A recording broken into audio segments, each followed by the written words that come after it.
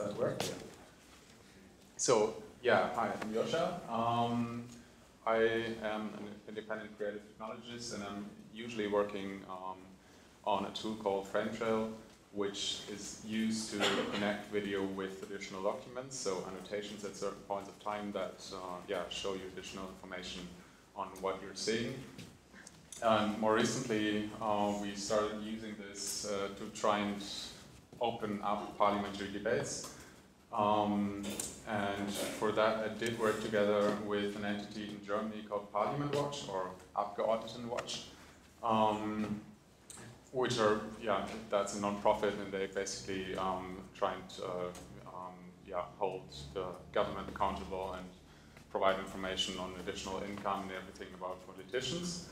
Um, so we thought we are going to do this six-month project and try and uh, it's what it was called Parliament Watch Goes Video. So um, right now they're just working with uh, a lot of textual content, um, but nobody actually works with the video materials um, of the Parliament. Um, so the idea we had is that we make the parliamentary speeches more accessible and understandable in this interactive video format form using the FrameTrail uh, environment. I'm not going to talk about that now, but if you want to look that up, that's frametrail.org. Um, then, of course, also to motivate citizens to take part and, and critically, critically engage with political debates, um, because that's, uh, especially if we talk about video, that's often um, concentrated on, on uh, short, spectacular moments and not really um, on, on actual issues, um, let alone like an entire debate. Um, and yeah, of course, in the end, to contribute to a more transparent parliament. Um, we did that by providing, on the one hand, an interactive transcript based on the plenary protocols that's available anyway, like the plenary proceedings, um, being on the one hand, a transcript of the speech, but also all the additional, um, just learned that's called heckling, um, like all these things that are happening um, in the parliament, um, which are not part of the actual speech. Um, then we are using that information to um, automatically link additional information uh, in the form of annotations to the video. So we have at a certain point of time a relevant uh, other document, on the profiles of the person that's currently speaking. Uh, we have other information like uh, the Wikidata or Wikipedia page on a certain law. Um, and potentially later we could also use this uh, to have a more curated form. So we have this automated uh, thing, but we can also um, use it to um, yeah, uh, do, do more detailed reports, uh, which are actually curated by people. And the one thing I really like is that uh, we have this, it's called Zwischenruf button in, in, in German, um, that we have like this uh, possibility for citizens to, to interject and um, ask a question directly to the speaker at a certain point of time, and they can actually answer um, in a very well moderated process, of course, and uh, not just forwarding the questions or insults. Um, so the problem is where do we get the data? Um, the Bundestag does provide something like an open data format um, where they have all the protocols and transcripts of the speeches. Um, something like in the sense of they just invented their own format, um, which doesn't follow any standard whatsoever um, with, with very, yeah, very, very funny um, node names and, and things. Um, but it's still usable a lot better than, than, for example, PDF of the parliamentary proceedings. Um, so what we did was taking, I don't know if you can even see that, but uh, taking from this open data API, uh, take the uh, MP core data, so, so all the information on the person and the plenary protocol, and then um, have a it's actually the most complicated thing to try and find out which video is the right video file um, and audio file for that particular speech. But if we have that, there's some magic called Aeneas, which I guess uh, most of you know, uh, which is a forced alignment tool, completely open source, which works extremely well also with uh, lots of different languages. Um, so we're combining um, the parliamentary protocols with the uh, audio that we found out uh, is the correct one and then uh, try and match the timings um, via Aeneas forced alignment. Um, there's more to it, which I'm not going to talk about now, um, because I want to have time to show what we actually did. Um, it's basically um, two uh, components being technologically very simple. One part is the analysis part, where we take care of the indexation of uh, parliamentary protocols, the alignment process by basically just sending Aeneas what it needs to, to do the forced alignment um, in a certain process. Um, and then also analyze the already, um, like when we have a time-based transcript anyway, um, then we can do all kinds of text mining, uh, finding out things in the text, and we automatically already have the timings. Um, so if we detect anything, we have the, the time-based uh, annotation. So how this works is really simple. Maybe I can even make it a bit bigger. Um, you really just drag and drop such an um, XML file um, of one parliamentary session into the thing and press the magic button and it does everything. Um, meaning it does the alignment, it uh, looks uh, for all the different speeches uh, of that session, um, and uh, yeah, does the entire indexing, so there's not more to it than just uh, waiting for a long time. Um, and it does take a long time, like for the current electoral period, uh, takes like uh, seven to 10 hours, depending on the machine. Um, so what you have then is a purely file-based index of the entire um, proceedings that you put in there. Um, entirely file-based means just uh, like a JSON file with an index of all the speeches and then um, the um, additional files which uh, contain the actual speeches with the timings. Um, don't have to watch that till the end. Now the interesting thing is that purely based, right now, purely based on these timings, um, we can build the uh, platform part, which basically takes that index, and because we have all the timings, all the transcripts, we can make them searchable and find out different words on yeah, particular times of time in the entire, like right now it's like 3,500 videos, uh, like 3,500 speeches. And we can find out pretty much everything that's uh, somewhere in the transcripts and then watch the particular speech um, in the sense of uh, I click the phrase or sentence and jump directly into the video, into the speech at that point of time. And can then in this user interface watch the speech in a time-based transcript based on the protocol and can have um, the just going to go back a second. Um, you have the profile of the politician that's currently speaking with the possibility to ask them uh, questions right from within that uh, user interface. Um, and one thing that's also very, that, that's just missing in, in the current implementation that the German parliament does, uh, then, yeah, that they do themselves, is information on what are we actually talking about or what's actually discussed. So the actual laws or proposals or documents uh, that are relevant uh, for that very speech or the entire agenda item in that case. Um, both of these things are, if you saw that, open source and already on GitHub.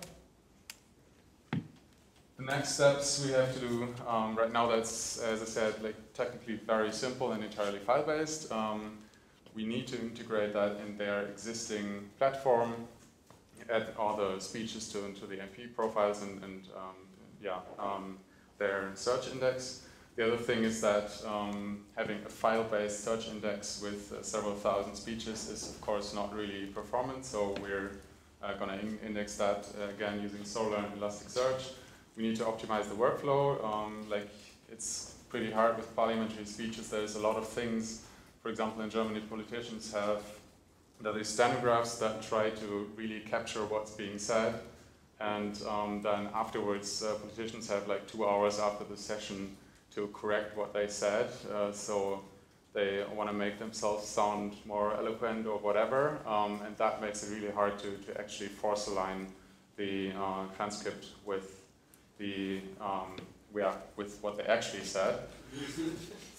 um, and yeah, some SEO and PR magic, and then we're gonna launch it just as is to, to get it out there as soon as possible. There are many interesting speeches happening right now um, in the German parliament, and like we're every day we're seeing the stuff coming in. When can we finally uh, launch the thing? So yeah, we're gonna launch it as soon as we can, um, even if it's not entirely finished. But the other thing is that this realm of video recordings plus transcript structured in a hierarchy of electoral periods, sessions, agenda items, speeches, that of course doesn't just apply to the German parliament. Um, so what we're currently doing is trying to identify and contact stakeholders who are interested in applying what we did there in other formats of parliaments, so which can be like can range from city councils up to, to EU parliament, um, because it's basically all the same. They all have video recordings, they have the parliamentary proceedings or, or protocols, um, and they have this hierarchy of uh, electoral period sessions, agenda items, speeches. So it should be pretty easy to build something that's interoperable and works for all these different parliaments um, and is made of, of yeah, small open source uh, components.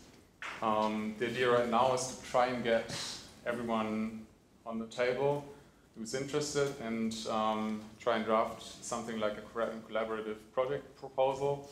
And then um, in, at Mozilla Festival in October, we're going to have a session and try to get together in person and uh, to form kind of a mini first consortium um, of people who want to do this, who want to do this in their parliaments.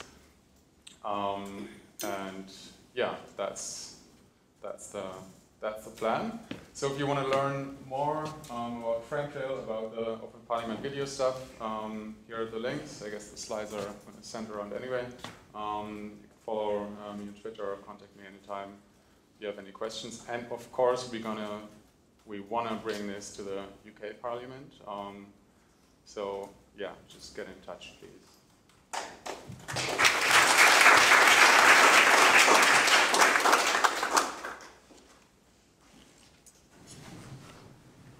Mm, that's really, really cool. Um, one question I have, uh, have you thought at all, um, maybe a big question, but have you thought at all about what this incentivizes politicians to do? like you know how like the radio kind of uh, little clips kind of incentivize a politician to give sound bites, for example.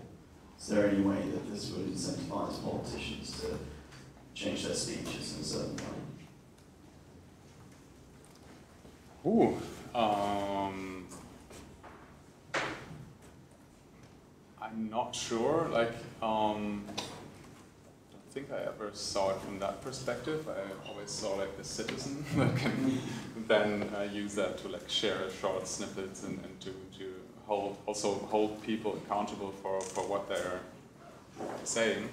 Um, I guess it would change the way like like right now nobody's watching these debates. That's just not very interesting if you have an entire speech. Like there are these spectacular moments. That's what I said at the beginning like that's what's shared, but that's not very often based on an actual problem, but that's more, I don't know, something that's dressed funny or is very loud or, yeah, it's just the spectacular part of politics and um, the entire rest is not interesting. So I just hope that's going to make people more interested in what they're actually saying um, and then also hold them accountable to what they're saying.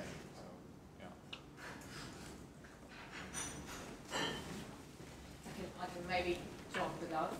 Um, did you already think of um, translating? Because, um, I mean, who's interested in the German talks?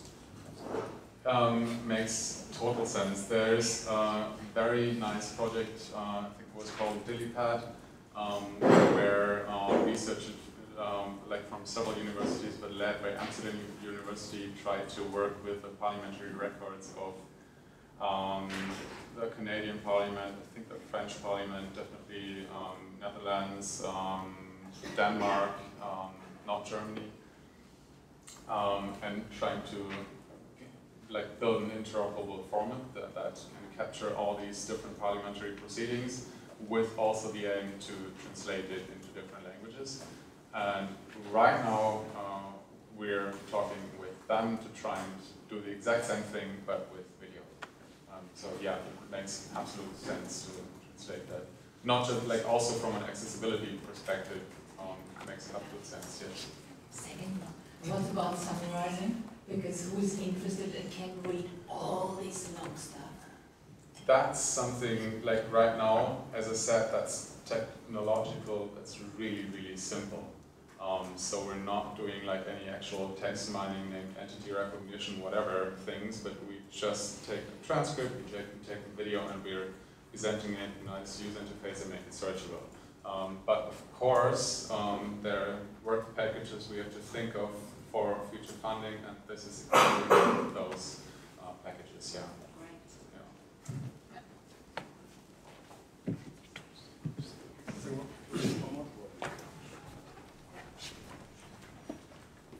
It doesn't really warrant the microphone, but um, I'm uh, trying to find the archive on the videos. You may have gone over that already, but So uh, uh, trying to find the, the archived videos on your website. the archived videos of the um, Bundestag. Yeah, I don't know if that's a. Um, yes, like they do have their own media library. Um, it's like Bundestag.de slash uh, Mediathek. Um, so that is there, um, but it's not very good, and we're yeah.